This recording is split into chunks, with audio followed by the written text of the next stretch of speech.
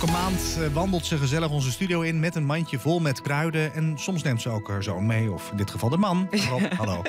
Wie hebben we nog niet eh, gezien van de familie hier? Ja, Eh, ik heb nog één zoon in de aanbieding, de ook- jongste. In de kan die- aanbieding kan die in je mandje? Eh, nee, hij past niet in mijn mandje. Dat past nee, niet hij meer, is daar is te een beetje groot voor geworden, is geen kabouter. Wat zit er wel in het mandje? Eh, dit keer heb ik echt de zomerkruiden mee. Eh, lavendel. Mhm. Ja, iedereen gaat nu naar eh, Zuid-Frankrijk natuurlijk. Om Oh, ja. de lavendel eh, te bekijken. Mhm. En ja, we hebben dat eh, nu in de polder ook. Tenminste, hij doet het altijd wel redelijk goed. En je ziet met dit mooie weer dat ze het alleen nog maar beter gaan doen. Ja. En het was ook heel grappig, want dat rijpingsproces, wat, wat net was met dat graan en zo, dat is ja, dat wordt nu in Nederland ook beter allemaal, zeg maar. Dus het wordt gewoon hartstikke ja, mooi zuidelijk weer hier. En ik dacht, Langzamerhand gaat het. Ik bedoel, ieder nadeel heeft dan ook zijn voordeel. Weet je? Dan krijg je Ja. ook grote veld. Bij mij bij de camping was een enorm veld met zonnebloemen. Dat is zo'n mooi gezicht. Ja, Ja, moet je wel zon hebben natuurlijk. In Nederland bedoel je? Nee, waar ik op Oh vakantie ja, ja, in. Barcelona. Ja. Dat, dat was helemaal omgeven door velden met zonnebloemen. ja. Hm. Ja, want er was uit. ook echt, er was zelfs op de radio al van, oh, misschien moeten we wel andere bomen hier gaan. Planten. gaan De olijfbomen. Ja, dat soort dingen. Of, of wat honingboom of zo hadden ze het over. Ja. Nou ja, ik zou het aan de ene kant wel heel jammer vinden hoor. Als we, als we gewoon onze Nederlandse bomen en Nou, ze hebben ooit voorspeld dat het hier langzaamaan natuurlijk toch meer een soort Zuid-Frankrijk eh, gaat gaat worden. Hè? Ja, Ja. Ja. Ja, Ja. nou Of in ja, ieder geval niet meer naar Zuid-Frankrijk. Dat scheelt een hoop benzine. Ja, dat is weer dat goed voor het milieu. ja. ik heb de druivenstruik al klaarstaan hoor. Ja, nou, Ja. lekker wijn, dat lijkt me wel lekker. Maar ik drink natuurlijk niet, heb ik net nog gezegd, Ja. op de radio. Zo gek zijn als ik nu Nee, zeg. maar je hebt ook alcoholvrije. eh, Nou, dat heb ik wel eens dat is niet te zuipen. Heb je dat wel eens geprobeerd? Ja, nee, dat moet je gewoon niet doen. Nee. Als je gaat, dan moet je goed gaan, vind ik. Druivensap Oh. moet je dan gewoon drinken. Dat, is, een- dat, dat hoor je ook bijna nooit met druivensap. was vroeger een leuk drankje. Druivensap. Druivensap. Ja. Dat is ook heel gezond hè? Ja, maar nou er zit heel veel suiker in, toch? En een cranberry eh, eh, sap. Ja, cranberry sap is heel gezond. Dat is Gaat het waar- over je- Nou, voor de Het moet over de kruiden gaan. Maar uit, uit de natuur komt het. hoor. Ja, ja, En trouwens, met druivensap ook wel. Ja, voor je bloeddruk en je, en je eh, verrijking van het bloed. ja, maar Ja. tegenwoordig is dat niet meer zo hip om druivensap te drinken, toch? Ik zie dat bijna. Vroeger Nee, op verjaardag. Moet je eens kijken in de- Ja, toch? inderdaad, hè? Ja, dat is Maar kijk eens in de schappen joh, bij de supermarkt. We hebben druivensap, we hebben kersensap, we hebben Ja, dat is appelsap, waar. Alle Ja. Was je toen allemaal niet. Mango, alle, alle En exotische vruchten en komen ook voorbij. allemaal. Ja, klopt, ja. Ja. Goed, de Ja, kruiden. een, toeven- een borreltje op zijn tijd is toch ook gezond voor je, zeggen ze. Ja, dat zegt, ja, dat, het, het juiste. ja.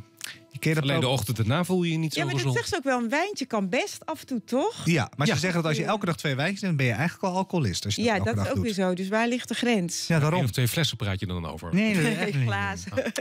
Zeg, eh, die... eh, Ja, lavendel, dacht eh, ik. Ja, lavendel.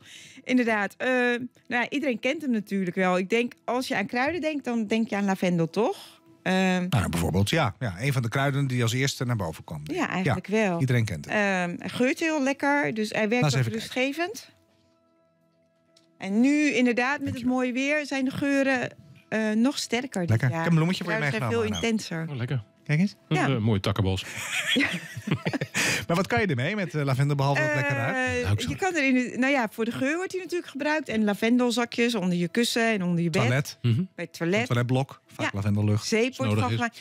Eh, de Latijnse naam lavendel, dat betekent ook eh, iets van eh, in bad gebruiken. Dus het werd vroeger in het badwater ook wel veel Als gebruikt. een soort bad. eh, ja, om schuim, het desinfecteert ook heel goed. Oké. Vandaar dat het ook in de zeep zit. Het, eh, een soort antibacterieel wordt het ook. Je hebt ook van die etherische olie, weet je wel, dat is dan heel erg geconcentreerd. Mhm. En dan eh, ja, heb je drie druppeltjes nodig. En dat kan je dan bijvoorbeeld op een wondje doen. Maar gebruiken ze daar echte lavendel Ja. voor? Ja, ja, dat gaat. Tenminste, het wordt tegenwoordig ook heel veel chemisch nagemaakt. Dat bedoel ik. Maar als je de echte goede etherische olie hebt, dat is dus echt. Ja, de geur van de kruiden worden dan gevangen. En dat doen ze. Ja, dan heb je van die grote tonnen, zeg maar. Van, nou, er zit denk ik 50 kilo lavendel in of honderden kilo's. Mhm. En daar doen ze dan stoom langs laten gaan. Ja. En die stoom die, die haalt dan die etherische olie of die geur uit, uit de plant op. En dat gaat dan in een buis weer. En dat slaat dan neer op water. Op, op verkoelende Distilleren. element. Ja, dat is het distilleren Ja. inderdaad. Ja, alcohol, barhout. Ja, we blijven Ja, een beetje in de We alcohol blijven in de alcohol. Komen we er toch Ja, weer op we terug. hè? komen er niet Waar het vanaf. hart vol van is. Ja. nou ja, dat proces dus eigenlijk. Dus dan distilleer je het. En dan, ja, dan hou je, zeg dat je eh, 50 kilo lavendel neemt, dan hou je misschien 10 milliliter eh, over. Dus het is echt Zo. heel erg geconcentreerd. En ik weet wel, hier in de polder werd eh marjolein ook geteeld voor de eh etherische olie van de marjolein. En dan deden ze dat echt in die grote zeecontainers. Ja. Die werden dan eh, van het land werd er geoost. Mhm. En er stond er een zeecontainer en daar lieten ze dan stoom doorheen gaan. En dan hadden ze dus echt een mega, mega groot distilleren apparaat gemaakt. Het is ook goed voor de bloemetjes hè? en de bijtjes. Ja, lavendel. Ja, kruiden sowieso. Ja. Ja, Kun je hier medisch nog iets mee, behalve dat het desinfecterend werkt? Eh, ja, het werkt rustgevend. Dus eh, om lekker te slapen. Als thee werkt het ook. En ook als antidepressiva. En oh ja? eh, er is ook onderzoek gedaan met Alzheimer bijvoorbeeld. Dat geur gaat heel diep in je, in je geheugen. ja En bijvoorbeeld mensen met Alzheimer, als je die lavendelkussentje geeft, komt er weer wat terug. ja, en dan worden ze ook rustig. Sommige mensen hebben dan ook paniekaanvallen en zo. En als je Mhm. dan eh lavendel gaat ruiken, dat ruikt dan. Het alleen maar ruiken, dat is al voldoende. Ja, Oké. die geur die, die doet dan bepaalde dingen met je hersenen om eh, Hm. Rustig te blijven. Ja, en dat, dat ja, het werd ook wel als anti eh, eh, tegen de pest werd het veel gebruikt in de Dat hebben we middeleeuwen. niet meer, hè, de pest. Nee, daar, Nee. daar zijn we gelukkig vanaf. Ja, we pesten nog wel, maar de pest zelf is weg. Pesto is Ja, wel achter ja, de rug. ja. Of eh, de pest is wel echt weg. Maar ja, tegen dat soort ziektes werd hij ook wel gebruikt als eh, virus of schimmel of bacteriedodend. Citroen, wat was Melisse. Citroen, Ah. melisse. Nou, citroenmelisse. Ga je lekker thee van maken hè? Ja, en nou ja, om weer terug te komen op het alcohol als likeurtje is hij ook echt super lekker. Nou, hoe is het mogelijk? Geen cb'tje, maar een cm'tje. Ja, ja. nee, het is echt heel. eh, Moet je maar ruiken. Ik ga En eens even ruiken. Nu met, die, met het eh, warme weer wat we net achter de rug hebben. Dus ik Oeh, een beetje als mosterd naar de maaltijd. Maar dat maakt niet uit. Mhm. De, werkt hij ook heel verkoelend als, eh, Lekker. eh, Ja, hè? eh, tegen de hitte. Ja. Je ruikt niet de melisse, maar je ruikt puur Citroen? citroen. Citroen, Ja. ja.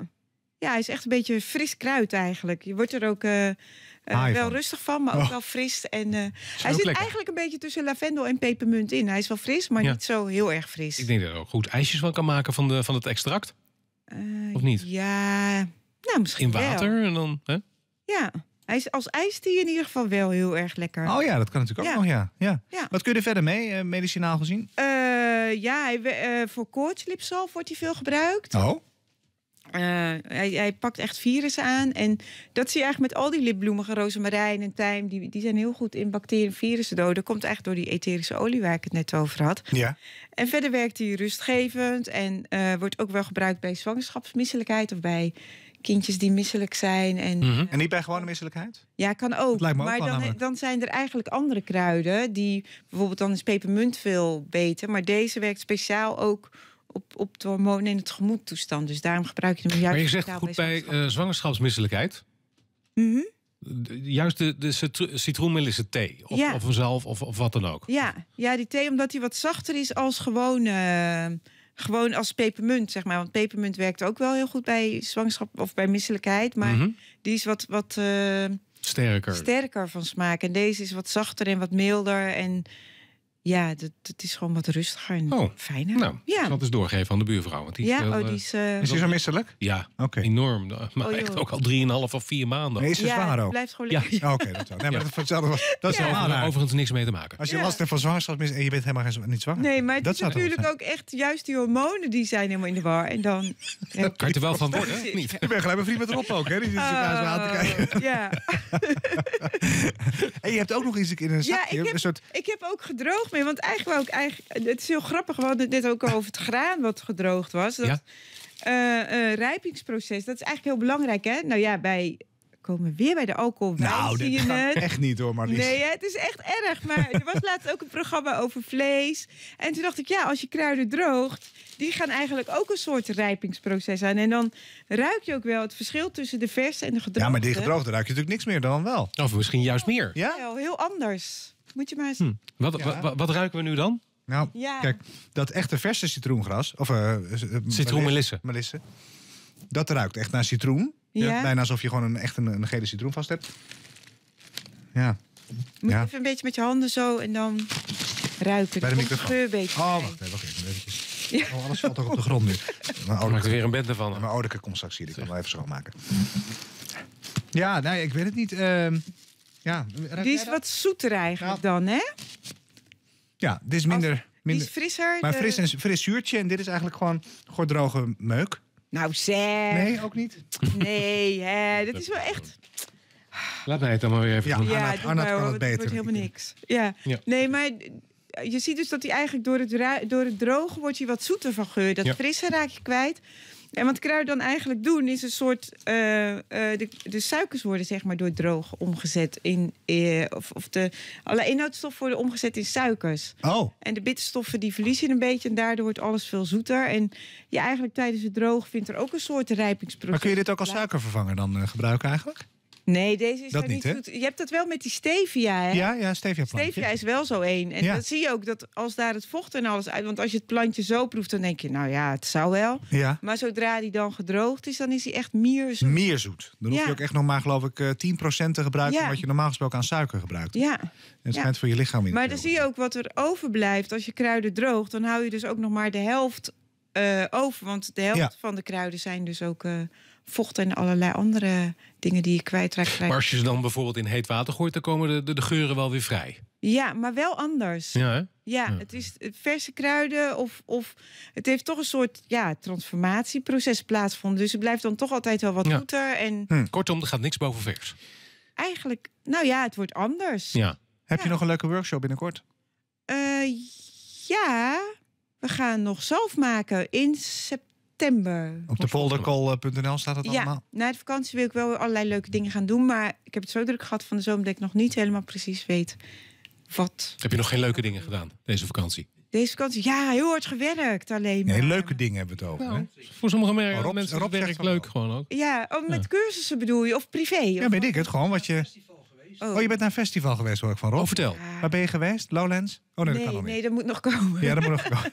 Ja, nee, dat is gewoon weer. Nee, nee, weer Electric. Maar dat is een beetje- ja, moet dat nou hier dan? Waar ben je geweest? Ja, dit is een of andere eh, elektronisch muziekfestival, zeg maar. Tomorrowland in België. Ben je daar geweest? Ja, Met die actrice? zoiets, maar dan heel klein en heel Ah. gezellig. Ja, ja, ja. Oh, Ja. Wat leuk. Ik zie jou ook al helemaal... Nou, eigenlijk niet, maar ik zie je dan... Helemaal losgaan. Ja, weet ik niet. Met je Ja, zoon. Dans is leuk hoor. Met je zoon? Eh, ja. Ja, Nou. die hier in de uitzending was. in Ja, dat weet ik. Die kennen. We kennen inmiddels heel je familie. Wie neem je Ja. de volgende keer mee? Nou, de ene zoon die we nog niet hebben Oh gezien. ja, dat is waar. Ja. Ja. Ik heb Ja. Goed. Oh, Maar ja. we aan het begin had Arnold dat Ja. gevraagd inderdaad. Dankjewel. Tot eh, volgende maand. Ja, nee, ja. Over twee weken ben ik er al.